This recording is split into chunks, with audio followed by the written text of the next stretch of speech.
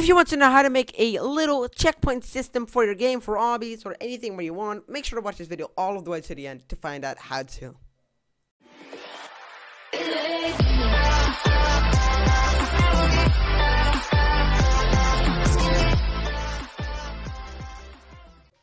Hey guys, and welcome back to this video.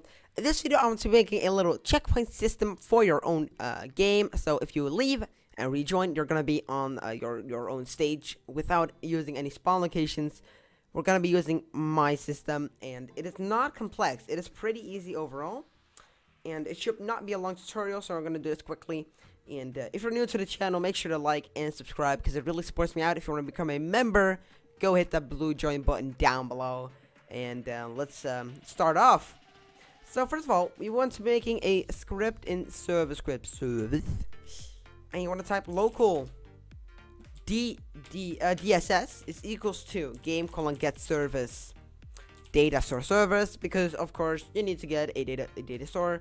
I'm gonna actually call it a database because it sounds cooler. Yes. Um, I'm gonna be continuing right now. So local DB is equals to DSS colon get data store. And then you want to type anything you want. I'm just to do game DB. But if you change anything in this, so it, like for example, you remove the B, uh, all of your save is to be gone. I'm to do this. Game dot players dot player added colon connect function player player dot character added colon connect function char. Okay, just type these lines. Then, we want to be inserting a level. Local level equals instance dot new num number value. I am sorry. Player. We're gonna do that into the player. level dot value equals to zero and level dot name is equals to level. So if you play your own game, I'm just gonna wait a quick second. There we go. I'm gonna play And if we're gonna play our game, you can go into players, newbie RPDev, and you can see a level over here. You can do 999, and you have okay, well, it's not confusing. It is just um, easy overall. We're continuing right now. You're gonna be typing local data is nothing. Local success, comma error message equals to pcall. We're gonna make a pcall function, so if our game breaks, it's not gonna actually break. It's just gonna continue with life. Um, there. Um, data is equals to db colon get async uh, the player the user id out of the level like that. And then if success then level that value is equals to data because we just set our data to this. And if that's not the case then we're gonna warn our game with the error message. And now we're gonna make in the actual teleporting function. Main teleporting function. Print player.name comma player.user id has entered my game.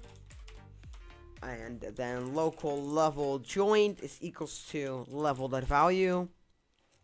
Because we're just gonna uh, get get the level dot value from our uh, variable. Ooh.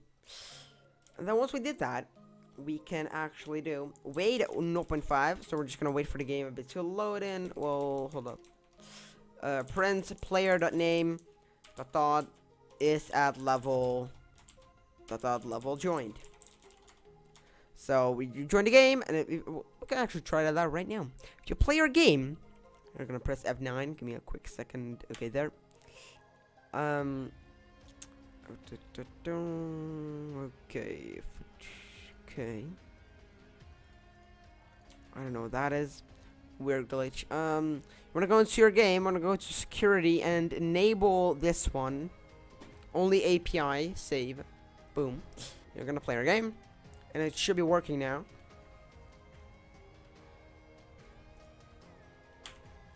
Yep, Newbie has entered my game. Newbie is at level 0. So Newbie is actually at level 0, which is quite logical. Wait, 0.5. Um, char, that humanoid, root part. The position is equals to game levels. Colon find first child level I'm actually gonna zoom out a bit because I need to do something. I'm gonna do this. Okay. Okay, zoom in again. Game the workspace, the levels, column find first child level, and then dot dot level joined. Like that, but dot dot position. So this is your main teleporting function. You want to go into workspace, add in a folder, and name it levels. But now's the confusing part. You want to get your uh, part, you put it all around the map. I'm gonna put them right over here. Like that, five levels. Okay. This one's going to be level zero. Make sure to put level in front of it. Level one. Level, oh crap. Level two. Level three. I cannot spell. Holy crap. Level four. So these are your levels. You want to get them. You want to put anchored on, can collide falls, and you want to put them in levels. So you're going to see, if we play the game, we're going to be teleported to this one. I'm going to actually make it neon to show you guys neon there. I'm going to play the game. And you will notice immediately we are, are not at the same place. We're on the... Ew. Uh, there we go. We just loaded in. We waited. And we're now we're at this point. So this is a quick um, a checkpoint system. We are not done yet. I'm just gonna add in a quick um, text nose. I gotta get a text label. I'm just gonna make it uh,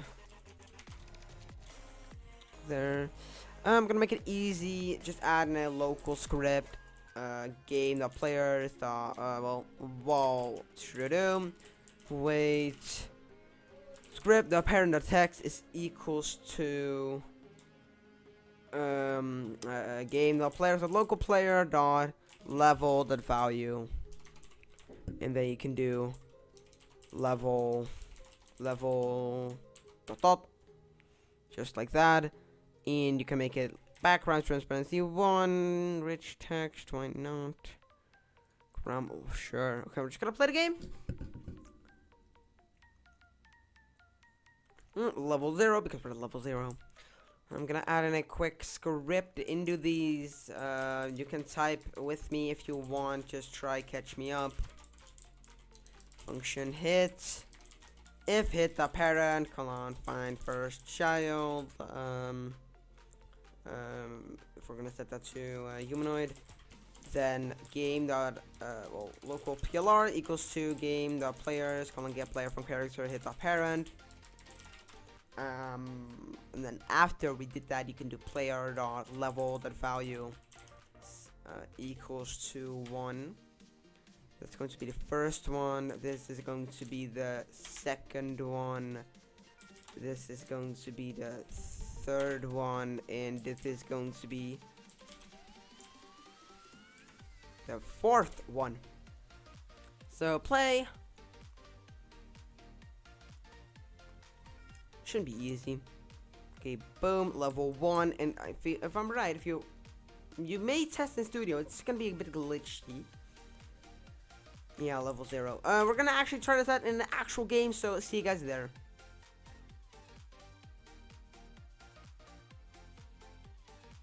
So we are gonna continue with our script. Um, I'm gonna add in a quick little event. Game the players, the player removing, a connect function player uh, local success.